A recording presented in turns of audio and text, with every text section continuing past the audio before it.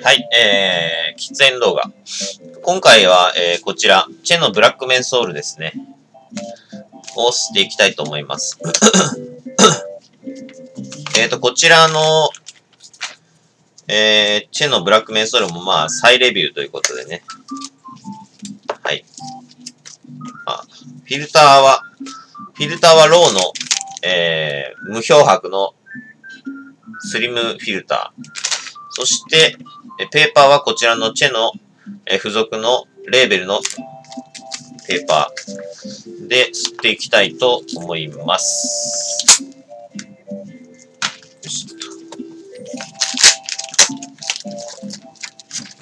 多分これも刻みが若干やっぱ違う、あー、やっぱ違いますね。うん。刻みがかなり細かめの感じはします。なんだこれ。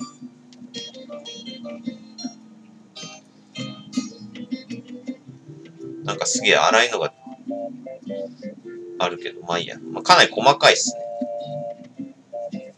チェのメンソールに比べて、比べても同じぐらいかな。いや、もう若干ま、もっと刻みが、なんか、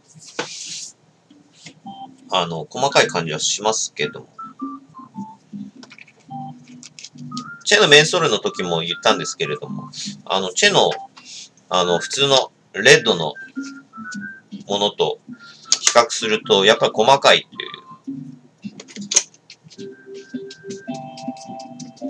いうのがまあ特徴でしょうかね。チェとやっぱ違うのは、そこと、まあ、あとメンソール感がちょっと強いということで、まあ、最強のメンソールということになってますけれども、本当に最強なのか、最強なのかどうなのか、知ってみなければわからん。これもまた前、前吸ったんですけどね、大してあの買わなかった気がするんですけど、大して買わなかった気するんですよ。正直。チェのメンソールと。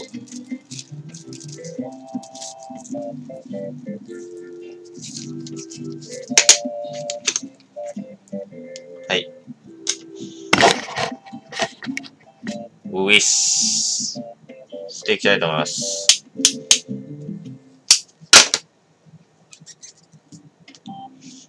あ全然違った。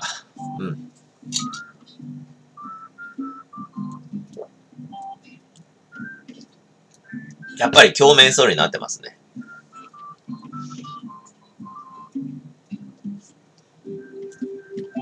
喉と、えー、鼻に抜けるメンソール感が非常に強い。でも、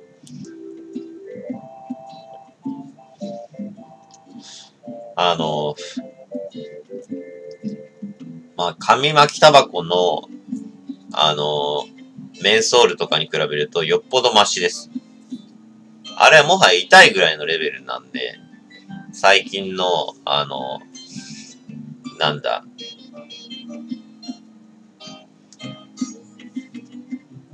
うん。最近吸った、ほら、えー、えー、キャメルの、あの、なんだっけ、えー、リトルシガーとかさ、そういうリトルシガー系のやつとかね、まあ安くや、安いやつ売ってるじゃないですか。あれと比べたらもう運命の差です。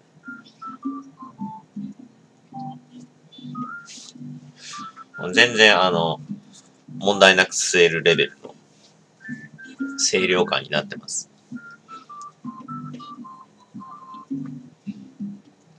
うん。そうですね。全然痛いっていうのもないし、まあ、タバコの味もしっかりしてます。特に吸いにくいとか、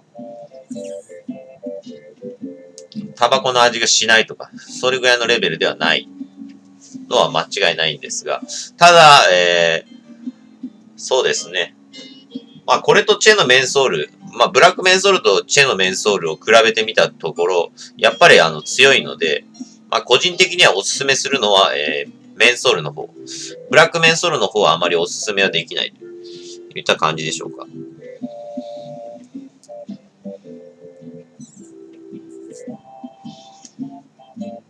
まあ、それでもメンソールのタバコっていうのは、俺基本的に好きなんで、冬でも、冬でもメンソールのタバコ吸うんで、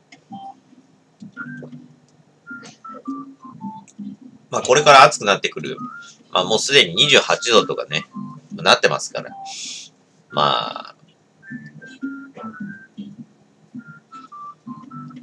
そうっすね。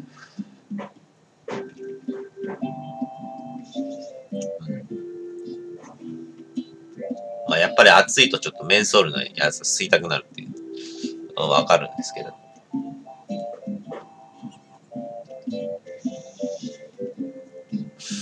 まあ、これもちょちょっとやっぱメンソールが強いって、あのー、なったら、もうぶっちゃけあの、そこらに置いといて、あの、放置しと、放置しといて、もうメンソール感をぶっ飛ばせばいいっていう話なんで、うん。もうあの、上げっぱなしにしてさ、袋開けっぱなしにして放置しとけば、もうメンソール抜けますから。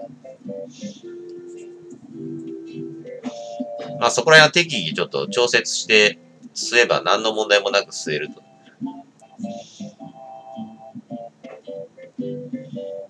で、まあ、こちらも、えー、チェのメンソールと同じく、まあ、チェと同じく、えー、まあ、おそらくキューババのブレンド。ルクセンブルク産でバーレーとバージニア、オリエンタル、メリーランド馬を使用しているということですね。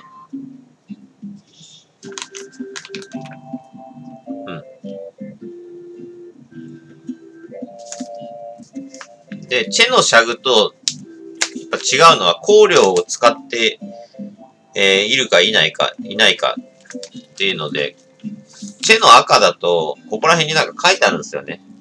なんか、香料使用してませんとか、香料無添加とかって確か書いてあったはずなんですけれども。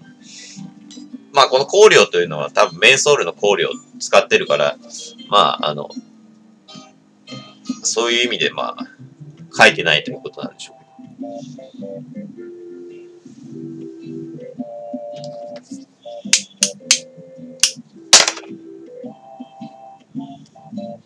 うん。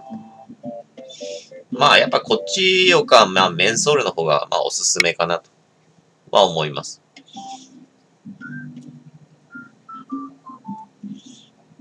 逆に考えれば、もうぶっちゃけあの全部ほほっといてさ、あのメンソール全部抜けばさ、もうチェのシャグと普通にさ、かあのメンソール感なくなるんじゃないのっていう。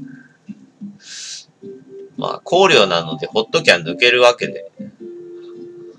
ほっときゃ抜けるはずなんで、まあそこらに放置しといて、封開けて放置しとけば、まあ抜けるんじゃないかなと。まあ思いますけどね。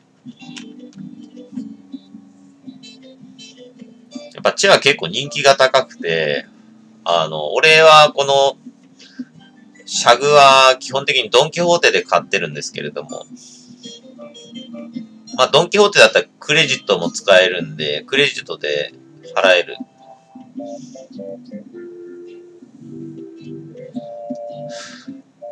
払えるし、そうだね。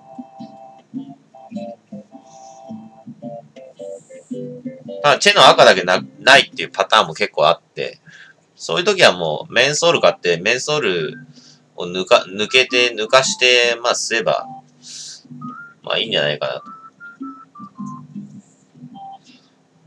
ということで、こちらは、えー、まあ、コスパも非常に、まあ、値段も安いで、まあ、値段が600円。25g で600円なんで。で、吸いやすさっていうか、あの、癖とか、あの、もう特にないし、うん。うん。癖もないんで、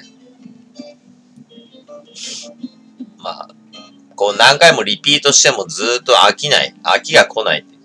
ね。やっぱりドラムとか、あのー、なんだ、えー、まあ、風味が強かったりするやつとかっていうのは、だいたい飽きてくるんで、まあ、飽きが来ない。えー、特に何の問題もなく、ね、リピートしても、まあ、飽きが来ないっていうのは非常にいいかなと。